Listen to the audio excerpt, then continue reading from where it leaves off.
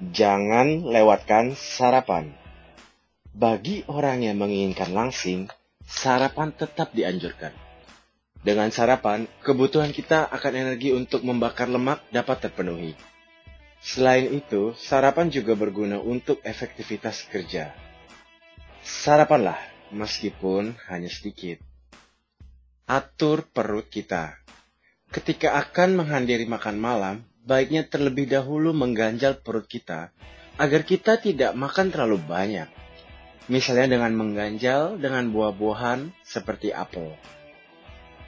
Kurangi porsi makan kita menjadi lebih kecil. Jika kita biasa makan satu piring, maka kita ubah menjadi setengah piring. Lebih baik makan porsi kecil sebanyak lima kali, daripada makan porsi banyak tapi tiga kali. Jangan menahan lapar terlalu lama.